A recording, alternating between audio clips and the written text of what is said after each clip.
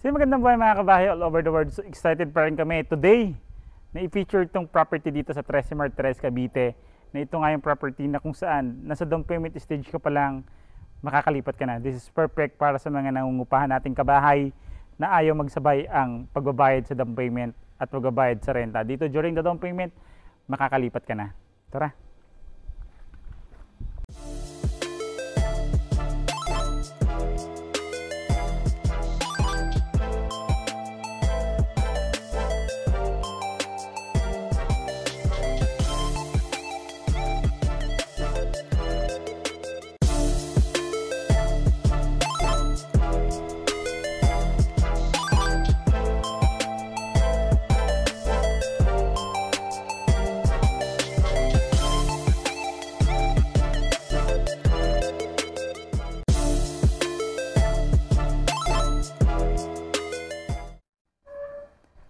So yun mga kabahay, so dito nga tayo sa Pacific Town Park Villas located sa Barangay Conchu, Trece Martires, Cavite. So if-feature natin property nga na ito, ito lang naman yung nag-offer dito nga na may pre-gate, ka na, may concrete perimeter fence ka pa. Ang kagandahan sa project natin ito, katulad nga ng sabi namin, is makakalipat ka na during your down payment. So hindi masyadong mahirap kasi magsasabay ang renta mo, magsasabay ang down payment mo. So dito makakalipat ka na habang nagda-down payment pa. Again, this is Randy Salvador. Of course, may web si Julian Salvador. Kami po ang susi at tulay tutungo sa pangarap niyong bahay.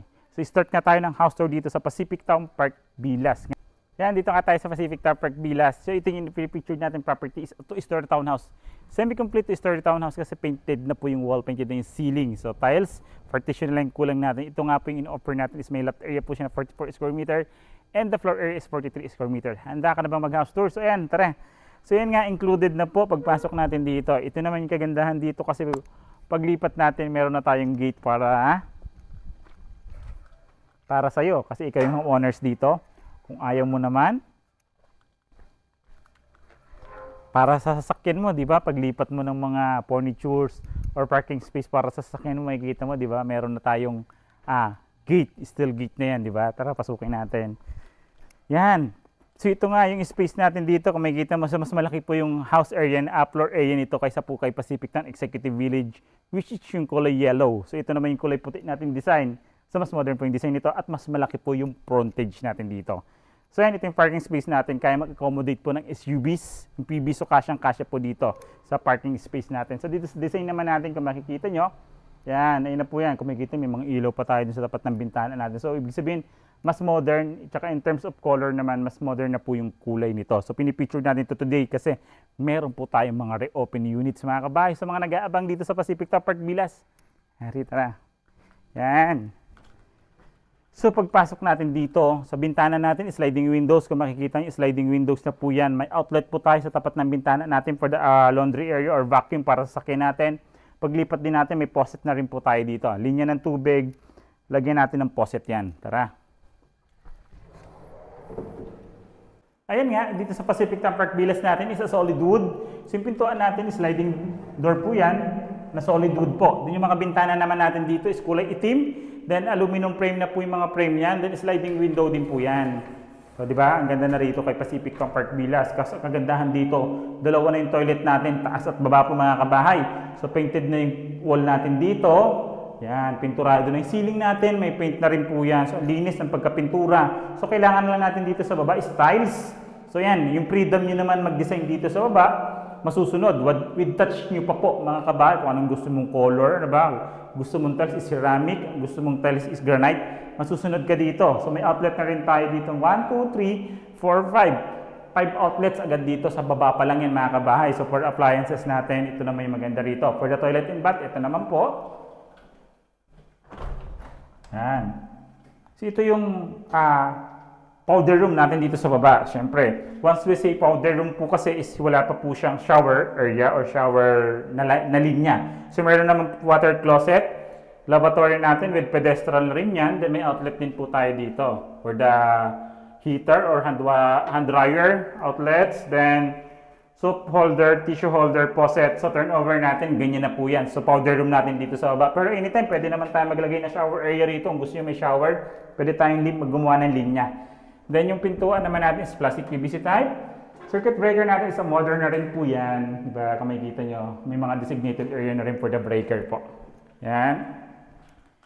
Then, before tayo mag-proceed sa service area, service area naman natin ito po. Yan. So may bintana tayo yung sliding windows which is ventilation niya dito. Tara po.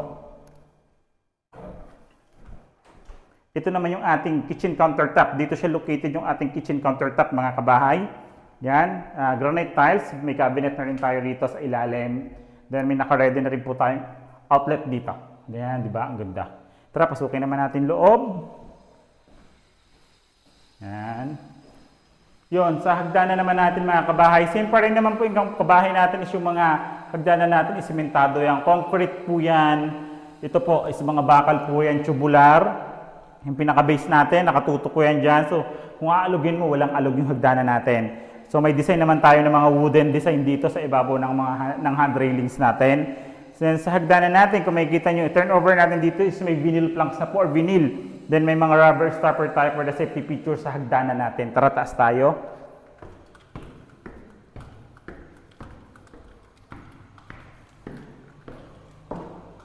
Yan. Dito po sa taas mga kabahay, so provision po ito for two bedrooms. So dalawang kwarto kaya natin ipagawa dito sa taas. Then kung makikita nyo, nakaabang na nga po ito sa partitions na gagawin natin ang ating mga electric, electrical switches. Each rooms naman po, two outlets for each rooms. Pangatlo po yung per window type aircon natin na outlet. So naka-ready na rin po yung aircon natin for, ay outlet natin for the aircon. Same lang po siya, aluminum frames, then sliding window, harap at likod. So dalawang kwarto natin is ventilated po. Then kung makikita niyo yung glass natin dito, this is uh, glass na po yan, permanent glass po yan. Yan, kung makikita niyo, uh, nakakatulong siya sa liwanag sa hagdanan natin. Check naman natin ngayon yung toilet in bath dito sa taas. So dito sa taas, ito yung may toilet and bath tayo. Dito may shower area. Yan. Dito sa second floor, ito yung pangalawa nga nating toilet. May kita nyo, may ceiling na rin po siya, hard deflex. Naka-tiles na din po siya. Then kung may kita nyo itong ano natin, uh, lavatory with pedestral na rin po yan. Water closet na flush type.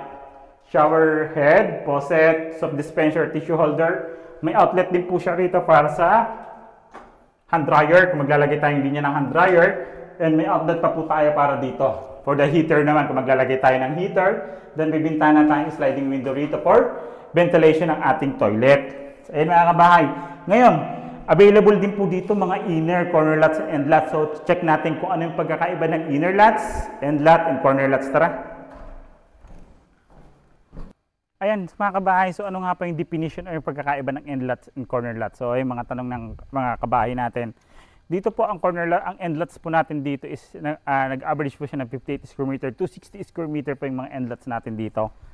Yan.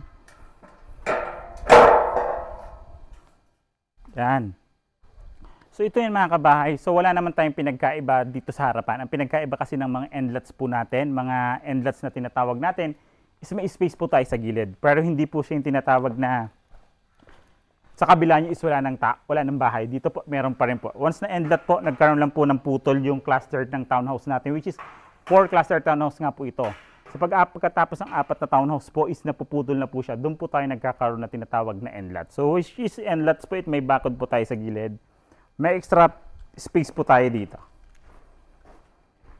Yan. Ito po ang end lot na tinatawag mga kabahay. So, di ba? Okay din naman po ang end lot, mas mura kaysa sa corner lot. Sa corner lot naman po, ang pagkakaiba ng corner lot sa price naman po is, uh, and sa lot size po, magkakaiba po yung lot size. Depende po sa available na corner lot. So, i-check naman natin ngayon ang corner lot. Tara!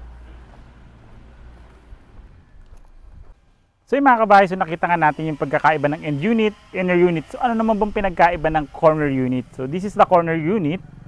Yan.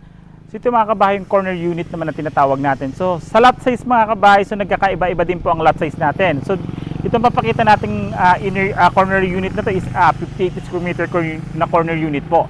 Ang pinagkaiba po ng corner unit, kung makikita nyo po, once we say corner unit po, sa kabilang side nyo po or din sa kabilang part ng bahay nyo po or sa may bakod nyo is wala na pong katabing bahay. So doon na po siya nag, natatapos sa corner lot po. Sa corner lot po na yun is kalsada na po. So ayun naman po yung pagkakaiba ng corner lot. So magkano nga ba si Pacific Town Park Villas? Yan. So si Pacific Town Park Villas po. So discuss natin yung price ni inner unit mga kabahay. So may available pa naman tayo dito sa Pacific Town Park Villas. Kaya nga po namin binidyo to today is meron tayong mga reopen. Yan, di ba? So mga nag-aabang dito sa Pacific Town Park Villas, message nyo lang kami mga kabahay. So yung total contract price po natin dito kay Pacific Town Park Villas po is 2 million and 2 million 50,000 and 292 pesos po. So yung the down payment na po, yung total down payment natin is 420,000 and 292. Then reservation fee natin for the inner unit is 5,000 only. Then 10,000 naman po for the end unit and corner unit. So ilaless naman po yung sa total down payment natin. So magiging net down payment natin is 415,292. So yung pay, uh, down payment natin is payable po yun ng 6 months po. So yung first down payment po natin. So yung first down payment natin is payable for 6 months po is 16,000 monthly po sa 6 na buwan. Dito po uh, sa 6 months na po ito after the down payment po na yon is ipaprocess na po yung application sa pag-ibig. So, within the 6 months to 9 months po, pwede na po kayong maklipat sa bahay nyo.